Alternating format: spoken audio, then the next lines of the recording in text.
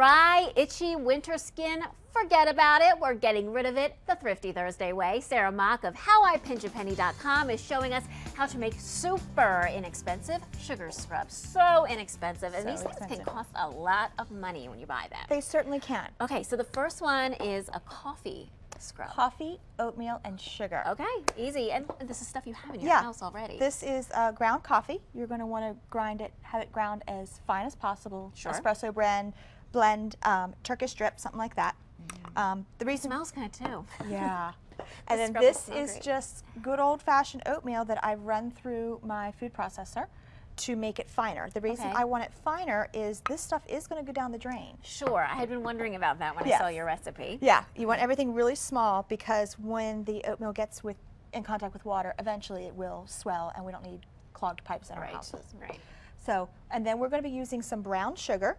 Brown sugar is great if you have sensitive skin. Okay. You could use just regular old white sugar. That's that's not a problem. But this is softer. This is it is a little softer and it, it's a little better um, better for sensitive skin. The oatmeal is going to help um, seal in the moisture. Mm-hmm. The coffee is going to invigorate your skin, giving that beautiful peachy glow that we all love. Nice. And then we're going to use olive oil. And you use about half, you Half. said, right? So if you have a cup of dry, you're going to use a half cup of, of olive oil. Okay. You could also substitute in uh, coconut oil. It really smells great. Isn't that great? It sounds like what a good morning you'd have using this in the Mm, This shower. is yeah, this is this is lovely. Now, when you're in the shower, you do need to keep in mind you are using an oil-based product, and you could slip. Yes. So Warn, warn the next person too. yes, say, oh, honey, I used my my scrub today, so be careful while you're in there. Yeah.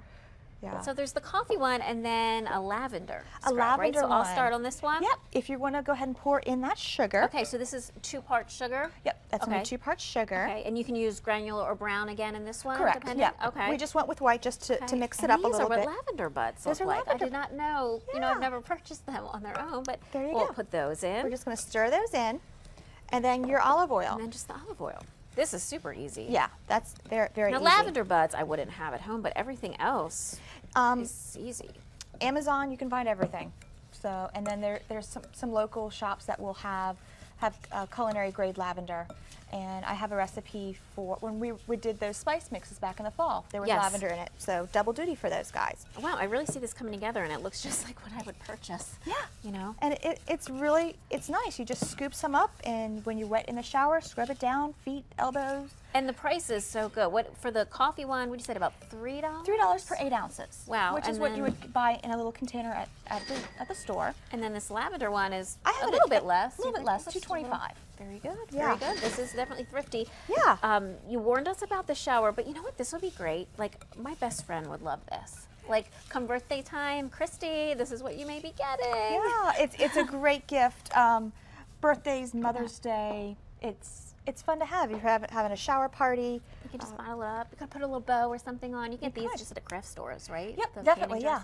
Well, perfect. Thank you so much. And You're howipinchapenny.com always for more information. All right, thanks so much, Sarah.